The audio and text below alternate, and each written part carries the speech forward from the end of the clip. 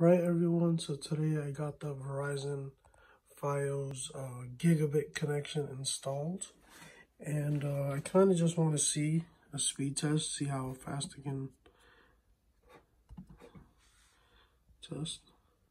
So it does say on their website up to 980 megabits per second, but we are not getting anything close to that. Oh.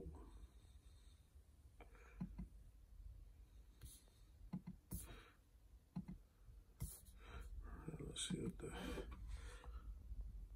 not bad, but not quite the speed that you pay for because let's look at the Fios.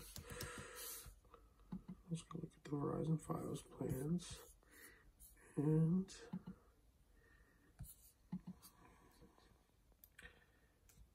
go down here, you see you get 400 megabits for 60. And then for this one, it's supposed to be up to, but we didn't get anywhere close to that. As you can see, we got 662 and 194. Good, but not great. Mm.